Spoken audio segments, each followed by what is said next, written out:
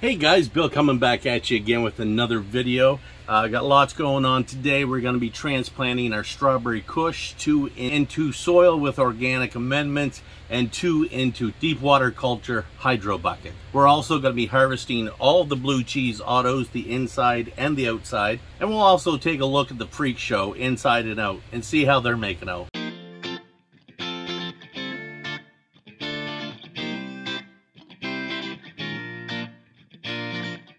Okay guys, so let's go back a couple of days and uh, we're to be harvesting the outside blue cheese autos. Okay guys, so here are the blue cheese auto flowers outdoors.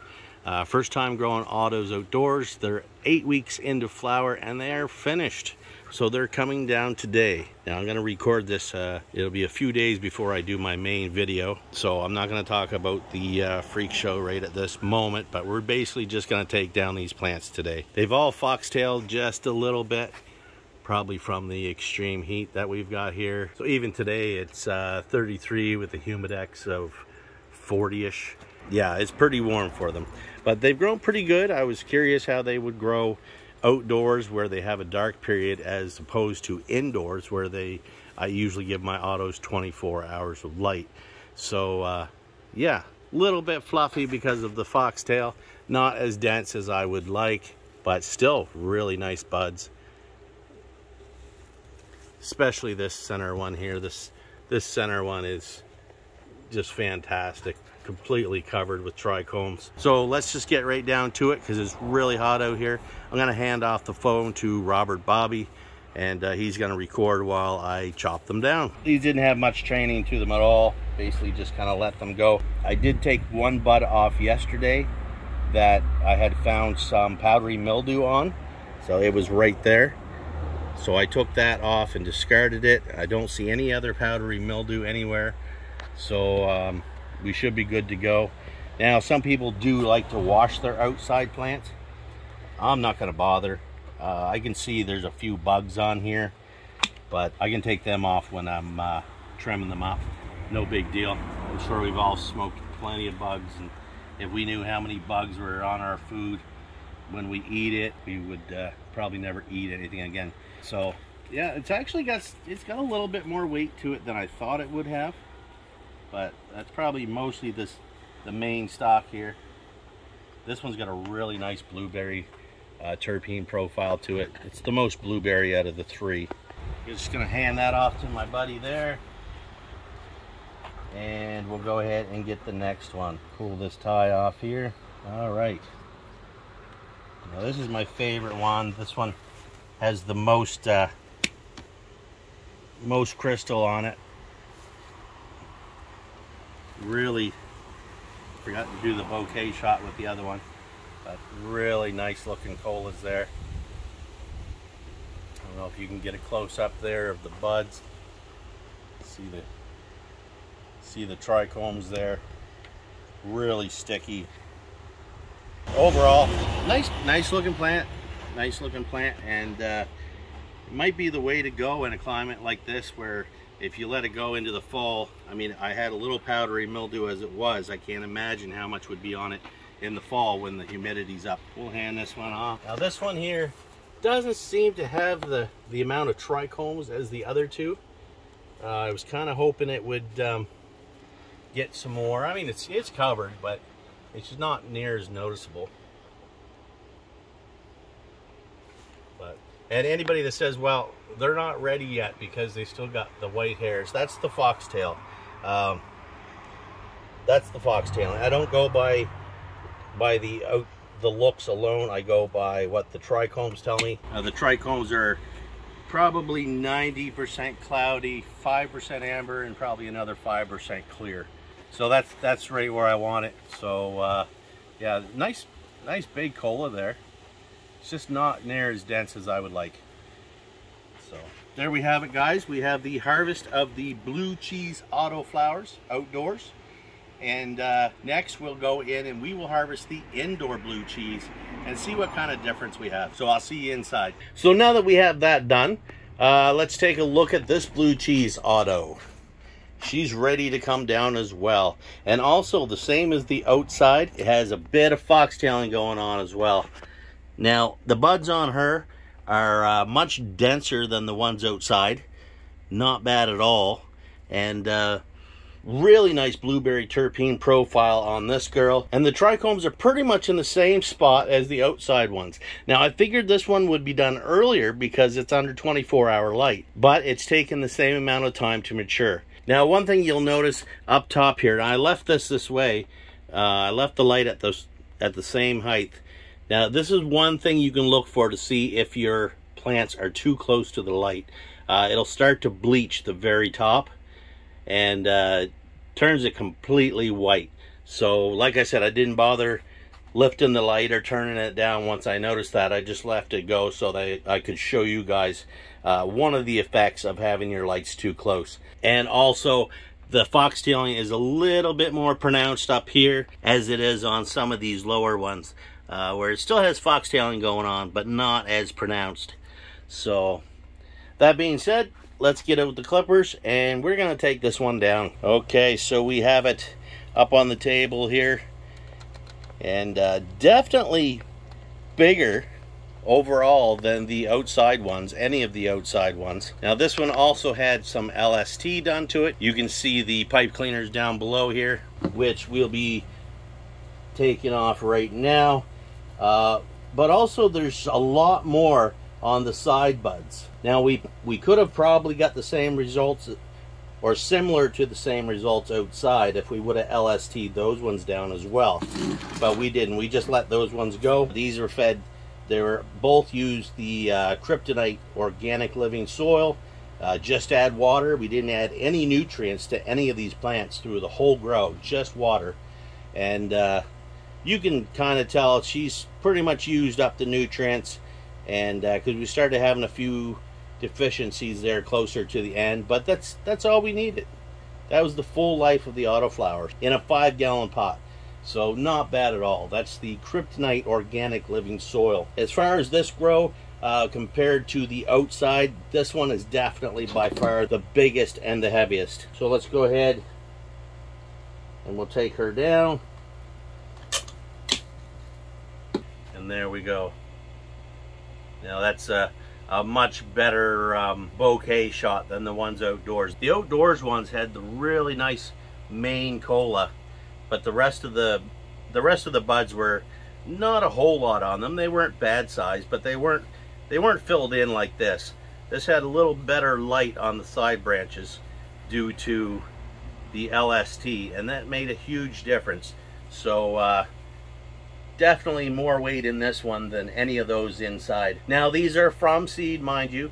Different phenotypes, of course, definitely play a part in it. But just in general, this is just a much bigger, more well-produced plant. So I'm to go hang this up with the other ones. And uh, I'm to try to get a weight on all of these and uh, just to compare what we got with this with this uh, experiment. All right, so now we got all the blue cheese down. Now we can get a better look here at the freak shows. Uh, we got all four are trimmed up. I was going to flip these this week, but I think I'm going to give them one more week because I just got around to uh, training, defoliating, and lollipopping these two just a few days ago. Uh, things have been really hectic around here, so I finally just got around to that. So I want to give it one more week uh, just to let everything kind of bounce back and get into a good place, and then we will be flipping next week. Now, as far as uh, pot size, we still have the two in the seven gallons right here. We have this one. She's still got quite a bit of bush. I pulled a lot out of her, but she's still fairly bushy. And then we have this one here, which is also in a seven gallon fabric pot. Uh, beautiful plant. Now over here we have in the three gallon pots, you can see the difference in the size on the bottom there. These ones fill out the trays. These ones don't. These are also on uh, three inch styrofoam blocks. So uh, yeah, we have these two over here. These are in three gallons and they're not much difference at this point. Um, now I did kind of train them out to be around the same size. So it's really hard to say how they're going to finish up. But uh, my money is still on the seven gallon pots. I still think they're going to do a, a little bit better than the three gallons. We'll have to see how that goes. Uh, let's go check out the one outside, the mother plant of these, which we planted outside a couple of months ago. Let's go check it out. Okay, guys, so here we have it. We have the Freak Show. Now, you can tell something's a little bit different there. Jess, come on. And uh, well, what we've done is we've moved the table that was here with the auto flowers that we harvested the other day. And uh, what I did was I put this post in back here, this metal post. And you can see a twine run into it to the tree, to the plant. So what I did is just slowly, I've been coming out every couple of days and pulling that down and uh, bringing the whole plant down because it was just getting too high.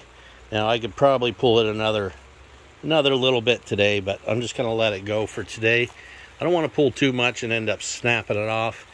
Now I could have done a uh, super crop on it, but this stock, this stock is quite thick, and uh, I didn't really want to take the chance of snapping that off. Like down here, this this trunk is that's a big trunk, and uh, so yeah, it was well over my head, well over that fence. And probably within the last week, I've been able to pull it down about a foot and a half. I'm not sure if that's enough, but I'll be definitely keep an eye on it. Definitely filled out. I wish I could have kept that up because that looked just like a, a, beautiful Christmas tree. Yeah, it's raining right now, so uh, it's been raining all day and it's gonna rain all day tomorrow. This is uh, this is Monday right now. So I decided I better get some footage here while I can while it's only raining a little bit.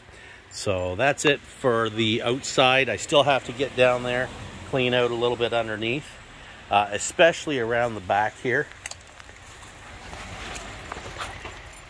Because as I pulled the plant down, of course, all the stuff that was on this, all the stuff that was on the side is now pointing down.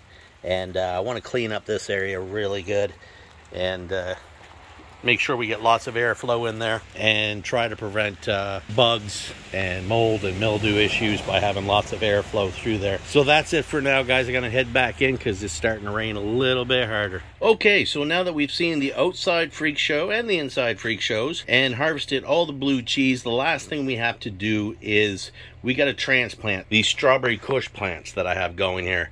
Uh, now, they're pretty much a month old at this point Normally, I would have transplanted them uh, a couple of weeks ago, but I was waiting on some equipment and um, I've got most of that equipment in now so today is the day. We got to get these into their final homes. What I'm gonna do I have four here. I'm gonna plant two into these pots here which contain ProMix HP with mycorrhiza and I also added some Harvest Hero enhanced perlite mix for just a little bit of extra silica and then I used the Gaia Green Dry Amendment nutrients in there, mixed it all up. So we have an organic mix here. And uh, we're going to be planting two in here. And we'll also be planting two in my deep water culture buckets. So first off, before we look at the uh, hydroponic bucket, let's go ahead and get two of them planted into these pots and get that out of the way. That shouldn't take long at all. Okay, so uh, I got these pots ready a bit ago. And uh, got them all nice and moist so that we can get those organic nutrients activated and we get the microbes to start breaking that down. So uh, let's go ahead grab one of these plants. Okay. So here we have one here. And we're just going to go ahead and pop it in that hole. Now, they've been in here for a month as I said, so they should have plenty of roots, which they do.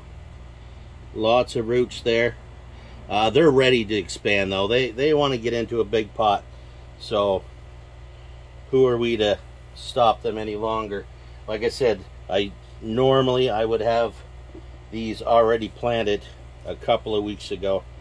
So there we go. Simple as that. Now, I am going to pop a couple of these bottom leaves off here that uh, are kind of down into the soil a little bit or just in the way. I'm also, while I'm here, I don't want to put too much stress on them right now, but I'm also going to take off a couple of these bigger leaves up here because they're blocking half of the plant and uh, I want to make sure I get light to all those all those different nodes right from the start. So we're just going to go right like that there. Now next week there's a good possibility that I'm going to top it and also do maybe some LST to it. Um, but we're going to leave it there for now. And probably by next week we'll also have to top this top this bucket up. So we'll set this one down grab the other one and we're just going to do the same thing super quick He's a little bit dry there in the middle. So I will water a little bit more here after the uh, after the video just to make sure everything is nice and settled in there. So we'll go ahead and grab this one. Same thing, we're just going to squeeze a little bit around here. Turn it upside down. Pop it out. Another nice set of roots. Little bit brown. Normally they're a bit whiter than that. Uh, but I think it's just uh, just being in those little solo cups. And I may have kept them a little bit wet the last few days, uh, which is why you might be seeing a little bit of browning there. But once we get them into these pots, they're going to blow up. There's no doubt in my mind that they will take right off. Uh, it seems to be a very, very hardy strain. Uh, these are from ilovegrowingmarijuana.com. Uh, I do have a link down in my link tree for them. I can't put a direct link because because uh, YouTube doesn't like that.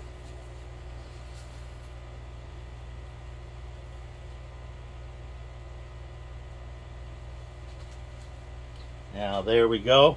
Uh, she's a little bit uh, all kind of congested into one little spot here, but now that she's in her pot we get to let her stretch out. She should fill out pretty good. So we'll set this one down and then I will show you my deep water culture bucket. Okay so here we have it. We have a two bucket hydroponic deep water culture set up here. Uh, I did buy the four bucket system, but I decided to only use two, being new to deep water culture. I didn't want to go too far into it. First off.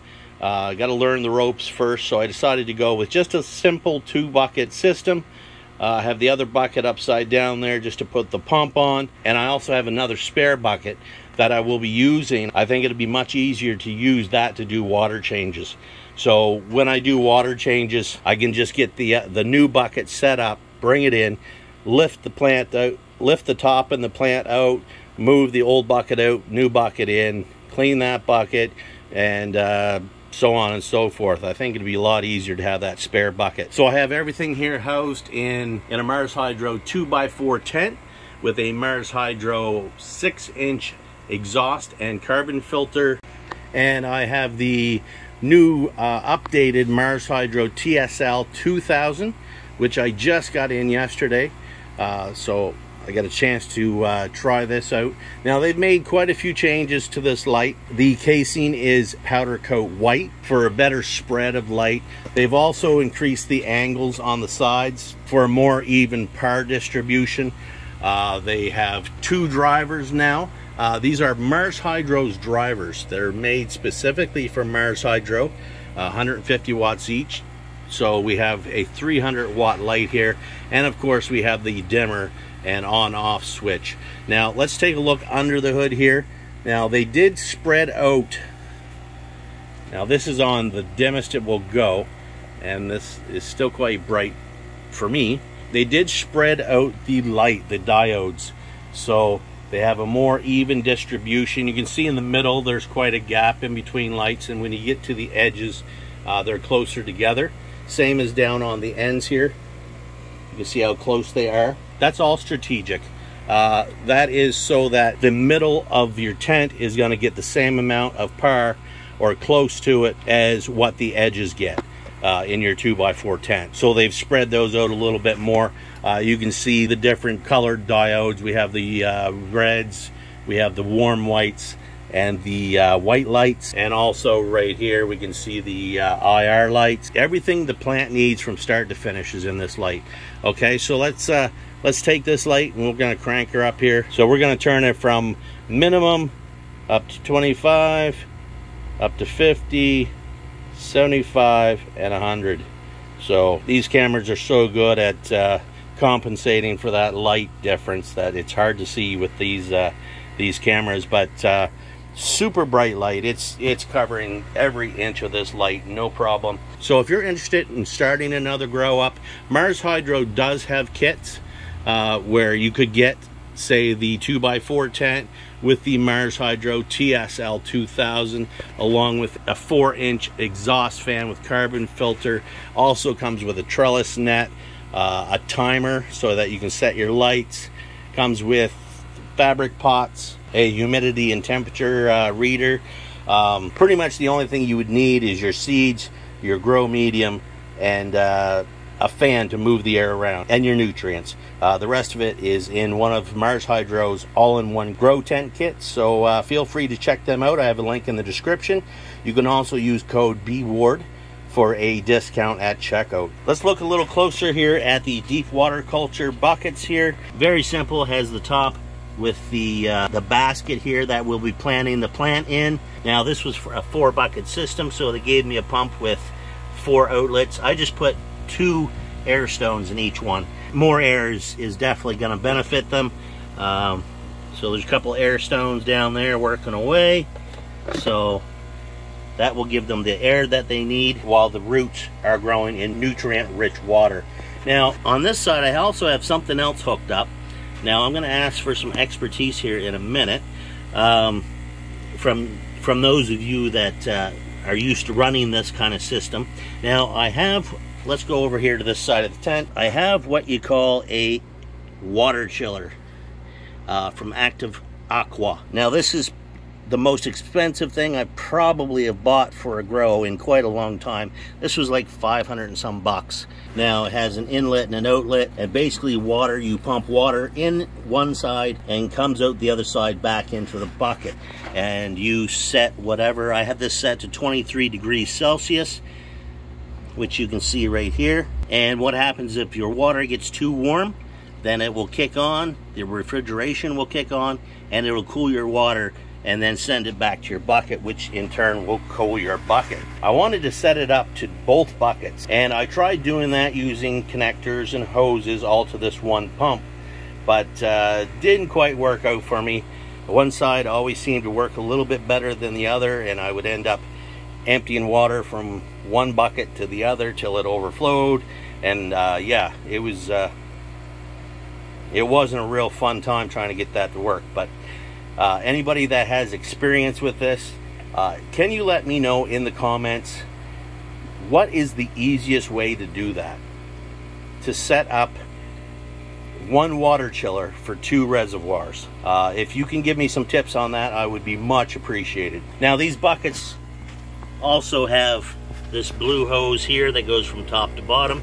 This will show you the water level as it drops so that you're sure not to, uh, all you have to do is check that to see where your water level is at. Makes it a little bit easier. And now for the fun part, we're gonna put plants in these guys. So why don't we go back to the work table and we will transplant our plants into a couple of these lids. All right, so what we have is some expanded clay balls.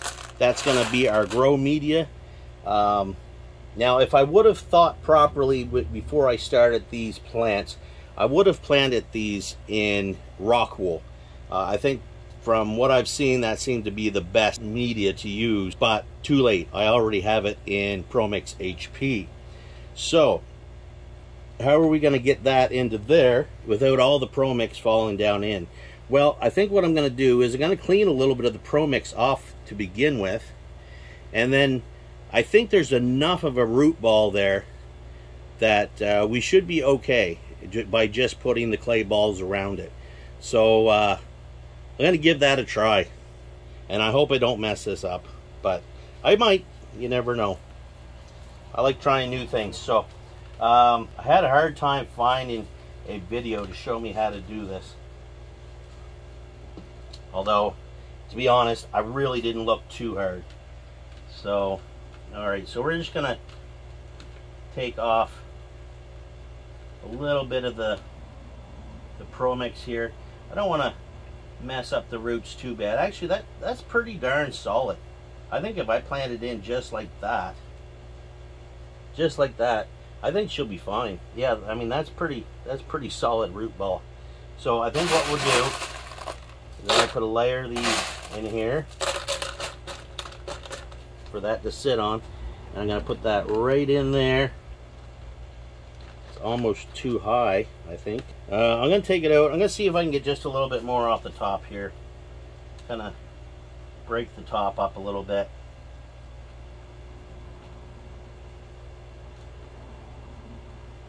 Without hurting the structure of that uh, root ball too much.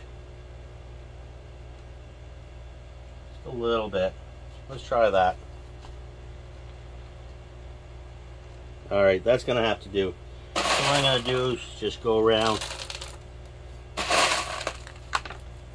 pack these pellets in here, these little clay balls.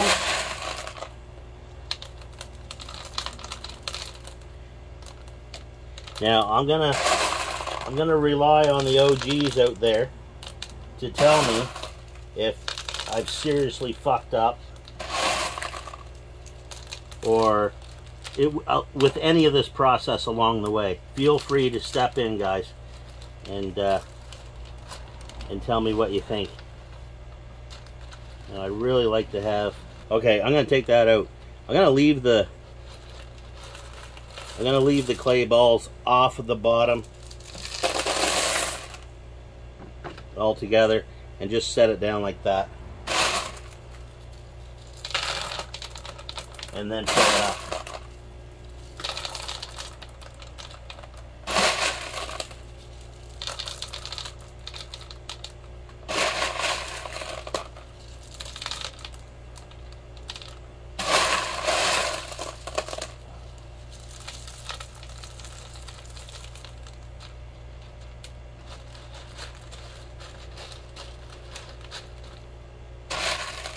There. I don't Better to me.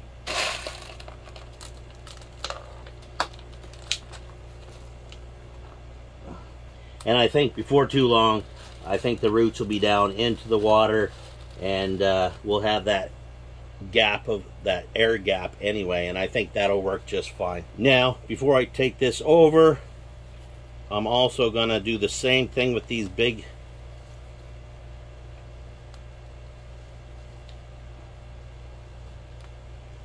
with these bigger leaves here. Gonna get rid of these.